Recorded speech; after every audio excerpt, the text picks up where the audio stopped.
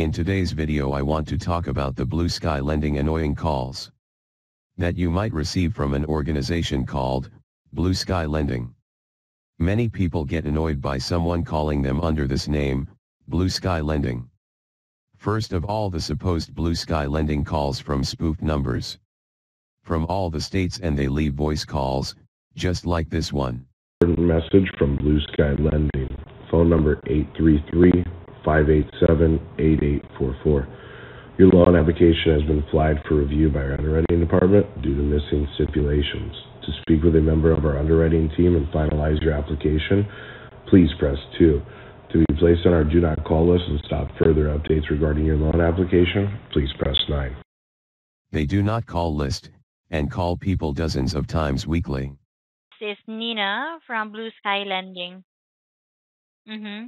And the reason for the call is we have a pending offer for a debt consolidation loan, sir, for you. By searching about them, I found many organization registered under this name.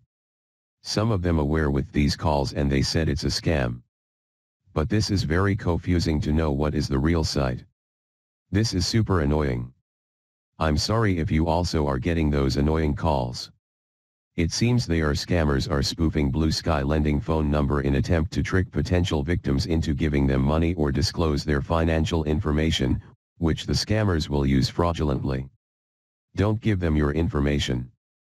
If you were tricked into disclosing your financial information to the scammers, contact your bank for help. You can ignore them if you like. Share this video. Leave a comment if you have a note to help others. And thank you for watching.